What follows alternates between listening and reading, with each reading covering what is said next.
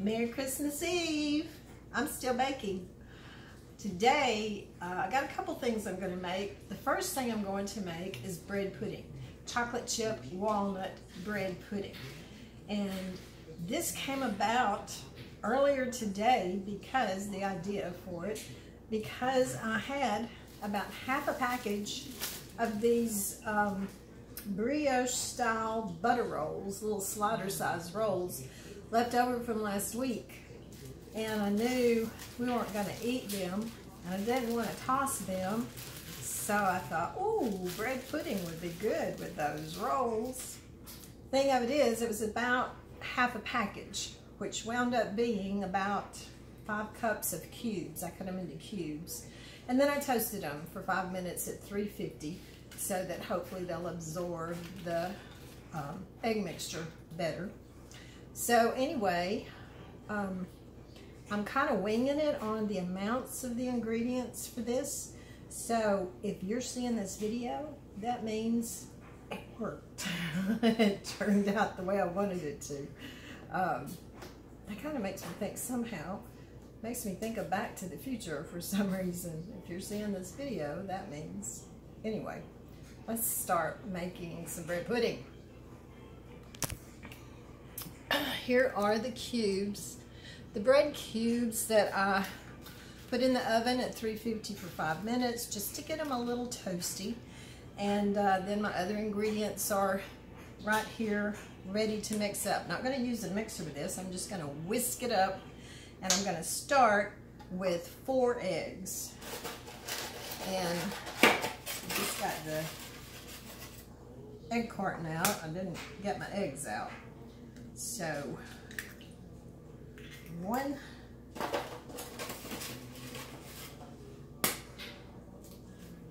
and two,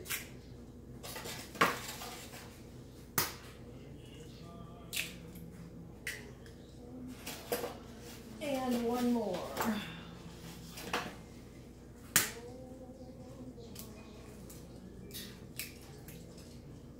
All right. First, Ooh, I need a dish towel to wipe my fingers. Uh, first I'm going to whisk the eggs up, but I just thought of something else that I need to put in here, and that's just a little dash of salt. I think that will that will help the flavor a little bit. Okay, I'm just going to whisk up these eggs.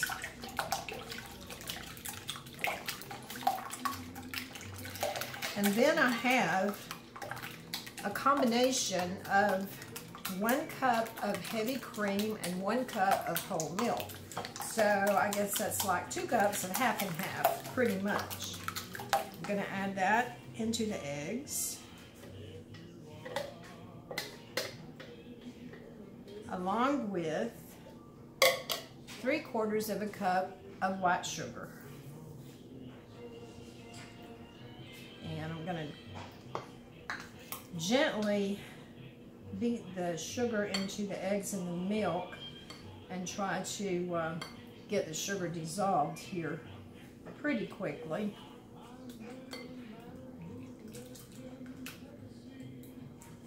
I guess it probably wouldn't have hurt to have gotten that mixer out when you think about mixing the sugar in well with the milk and the eggs, but I think it'll be okay. I can feel it coming together pretty good.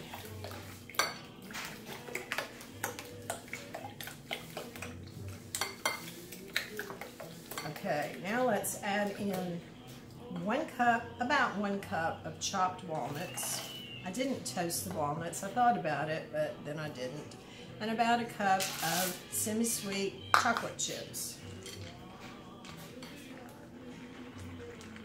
And of course, we're gonna need some vanilla almost out in this jar. I don't know if I have a teaspoon in here or not. Oh, I do. I was wanting two teaspoons, and that's about what I have. That's perfect. Just, you know, one teaspoon would probably be just fine, but I just, oh, there's a little more in there. but I like a lot of vanilla, so I'm using two teaspoons. And then, oh, you can see the vanilla kind of helps make the color a little darker. I like that. All right, so there's our mixture.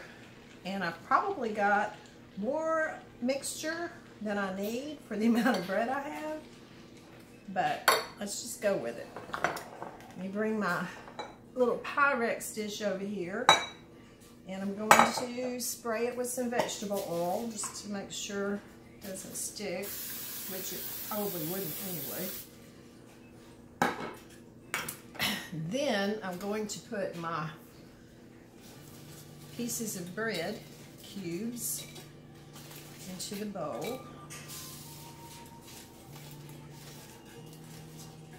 Probably could have put this in with the mixture, but kind of going at it backwards, I guess.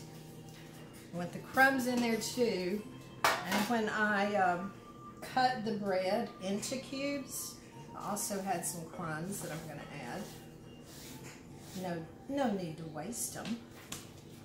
All right, now let's pour this over the bread. Get those walnuts out of the whisk.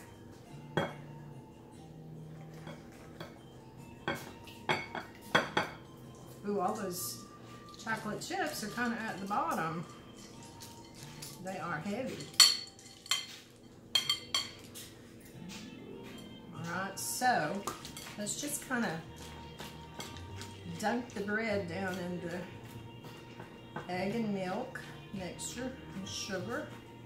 I want the bread to get wet, moist, but I also do want to have some of the bread um, sticking up like this so that it will get brown. And I want it to have the egg also. So let me just make sure all this bread has lots of the liquid. Kind of move it around to disperse, disperse those chocolate chips better. Okay, I think that looks pretty good. So I'm gonna put it in the oven. It's preheated at 350. I'm gonna set the timer for 30 minutes. And if it probably will need more time, but I'm gonna check it to see if it's uh, if it's set up good and, and all of the ingredients are cooked well. Um, so it may take longer than 30 minutes, but that's what I'm gonna start with. So we'll be back in a little bit. Hey, bread pudding's out of the oven. It's actually been sitting on top of the stove for about 15 minutes. I wanted to let it sit for a little bit wound up letting it bake for an hour at 350 and uh, it, it's pretty much it's just completely done but it's still a little soft in the center and that's okay because after it cools I'm going to refrigerate it and then I'm going to heat it up tomorrow morning. So it'll be good uh, that it's a little soft still. Don't want it to be over dry of course. Uh, let me show you what the bread pudding looks like I think it looks fabulous. You can see the chocolate chips and the walnuts and the bread is toasty on top. And of course, I am going to take a little taste. So get a little bit out and it's still popping hot. Let me go down to the bottom where that chocolate is all nice and melty. Oh, mercy.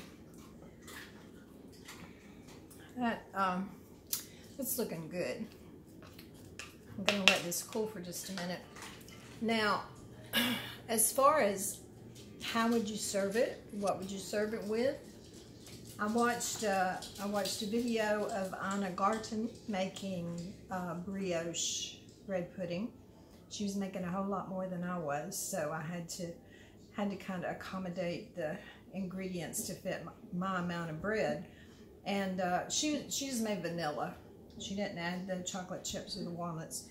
But, um, where was I going with that? Ah, the sauce.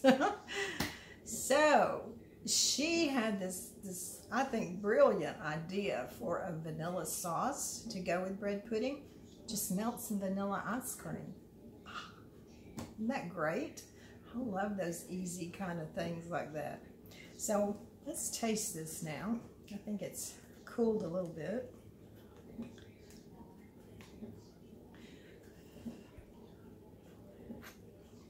Mmm.